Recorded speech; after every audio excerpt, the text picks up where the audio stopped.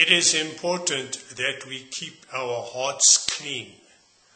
Because if we allow wickedness into our hearts, then we will do wrong and we will bear the consequences because the wages of sin is death.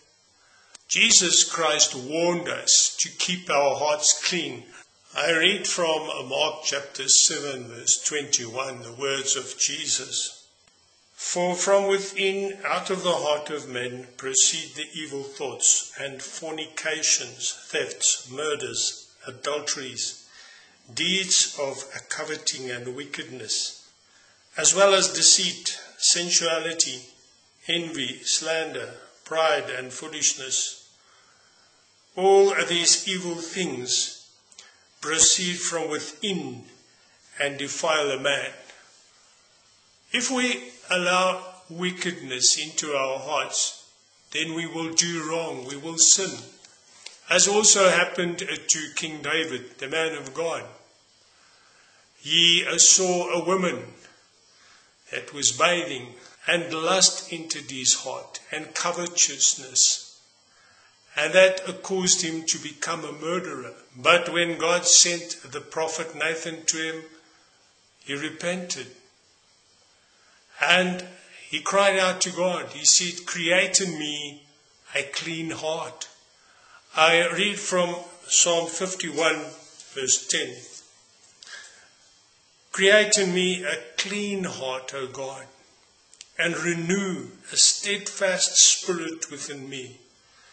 Do not cast me away from thy presence, and do not take thy Holy Spirit from me.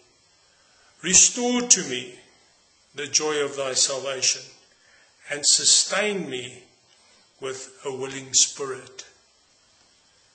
David pleaded with God to give him a clean heart. What we need is a clean heart. If we have iniquity in our hearts, then we're not acceptable to God. And then we will do those things that are wicked that are not pleasing to Him, and we will be removed from His presence.